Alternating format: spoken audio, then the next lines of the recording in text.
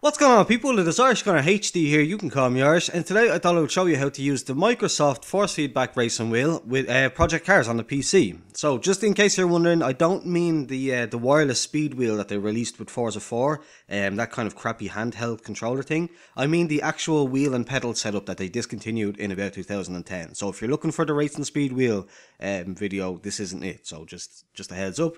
Um, but yeah, it is possible to use this wheel. It doesn't have force feedback because if you don't know, it's a Microsoft issue. They never released drivers for this wheel on the PC, unfortunately, um, which kind of sucks. But it does work and it removes the dead zone and it kind of gives you the settings that you want to be using, basically. There's a couple of things that you're going to need. Obviously, the wheel and the pedals first. Um, hook them all up, plug them in however you want to set them up. I would obviously include a video and show you like my setup, but my phone is broken, so um, unfortunately I can't do that. Uh, the second thing you'll need is the wireless adapter. So I got mine for like five euro. It was like seven euro, I think, including shipping off uh, Amazon. It's like just a cheap, no-name brand wireless uh, adapter kind of thing. Um, you can get the official Microsoft ones. I think they still do them for like fifteen euro or something like that. But again, any any one will do basically. Um, yeah, but once you have all that and you have all that set up, maybe check out somebody else's video of how to set that up if you haven't got those yet. Um, but yeah, assuming you have everything, the next thing you need is a DX Ace editor, which is kind of just a simple program. It, it, it, it, like it creates like a DX Ace file, whatever that is. Basically, I don't know too much under the hood of how all this works, but I, I, I, I followed some instructions online and I did it and, and I've made it work. So, um, yeah, I'll leave a link to download that program. It's all good. It's no no no nothing sketchy or anything. I, I've used it myself, so I'll leave a link to download that in the description. And uh, yeah, we'll I'll, I'll show you how to use that. So if we kind of tab out and hopefully it doesn't ruin the game. Um, so you click on DX Ace editor, um, go to project cars, and then you see it sets the dead zone to zero, the scale to 100, blah blah blah, all these options here.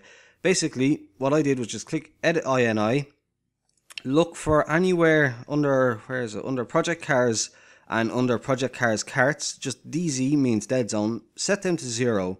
Press save um, then press log buttons, save setup, and then do the same thing for this, for the carts. So, where is it? Yep, so 0 and 0. Um, obviously, GRID Autosport and stuff like that. I didn't bother messing with them, but if it needs to be, maybe it'll work with those. But for just for project cars and project carts, uh, project project cars carts, sorry, um, just set them both to zero, save it again, and uh, no, sorry yeah, so that should be that should be all good basically then. So you go back into the game, then it's all in the control section basically. So you want to select custom wheel, um, whatever settings that you want to use here. I'm not going to mess with anything here because I've got it all set up exactly as I like. But first off, you have to edit the assignment. So basically, for the wheel to make it to make it basically the same as Forza, which is what I was basically aiming for here. Um, like once you click click all these buttons, assign them. So I've got uh, steer left, obviously steer right is wheel left and wheel right. Throttle right pedal, brake left pedal. Handbrake is A. Yeah, sorry. Handbrake's A. Clutch is B. Uh, gear shift up is right paddle. Gear shift down, obviously left paddle. Um, ignition just keyboard I and keyboard E for start the engine, just in case certain certain depending on how you play the game. Basically, you might your engine might cut out, so it's always nice to just have those rather than having to leave the game or restart. Um, headlights, D-pad up, just because obviously the front. Uh, windscreen wipers, D-pad right. Um, then cares, D-pad left, and DRS Y.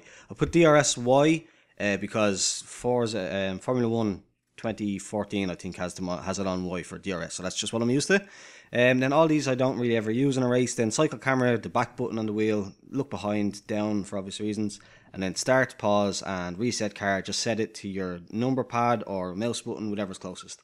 Um, because it is obviously, it can be helpful to be able to reset the car.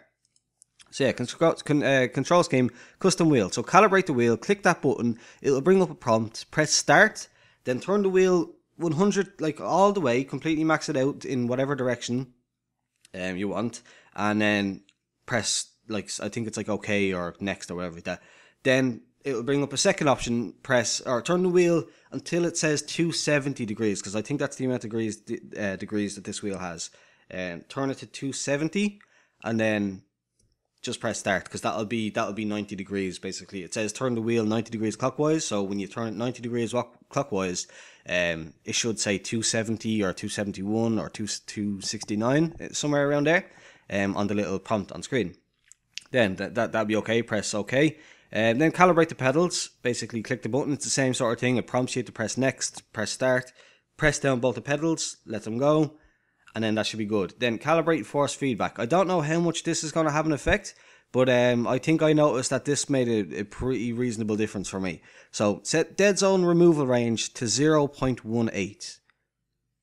Don't know why again, like I don't know why there's no actual force feedback in the game, but just I found that like 20 didn't work, 10 didn't work, 100 didn't work, 0 didn't work, but for whatever reason 0.18 works. So I think that's the only thing that I changed with that. Um, and then the configuration. So obviously steering dead zone to zero. Um, it will make the car a little bit twitchy and stuff like that. Like not really, like really not noticeably, but it will. It is very kind of rather than being like having a huge dead zone. It's almost like it's just really easy now to turn the car like really quickly. So just be aware that when you first start off. Steering sensitivity to 60. I've tried it on 80, I've tried it on 40 and 20 and stuff like that. Um, or I should mention actually, I should have said at the start. Uh, controller input mode 2 just switch that to two before you start messing with all these things. Um, yeah, so steering dead zone zero, steering sensitivity 60 just seems to be what works best for me. You can leave all these as they are on controller input mode too, so if they're not the same for you for whatever reason, just have a look there 20, 50, 10, 30, 13, 45. Speed sensitivity, I mess around with this some like certain like sometimes 40 seems to be nice, sometimes 20 seems to be nice, um sometimes 30 is nice, so between 20 and 30 is what's working for me at the minute. So 25. Um, then controller fil- filtering sensitivity 40, damper saturation to 100, and then force feedback down to zero because we don't have any anyway, so it doesn't really matter. Um, and I think that should be it. So if we go into the go into a game now, really quickly, I'm just going to use the carts on Somerton Sprint, and we shall just I'll just show you kind of again. I can't unfortunately show you um the wheel. Like I can't do a comparison of how little I'm turning the wheel compared to how much is actually turning on the screen.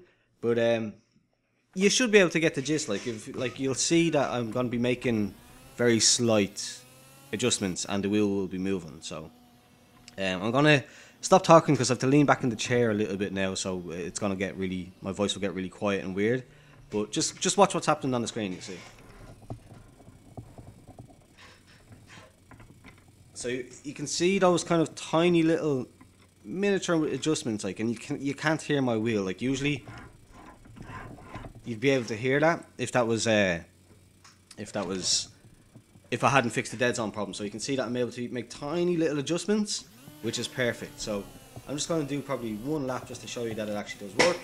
And I can't, I forgot to put on my headphones and I've got cold tires, so this isn't going to be the best lap by any means, but we'll just see how it goes. Cold is catching me out.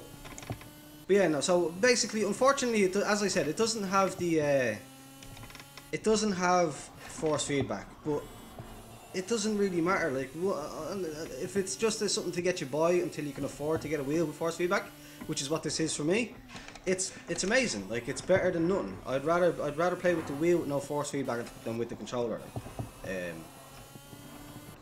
uh, like like by by far and away because it's just so much obviously easier to control.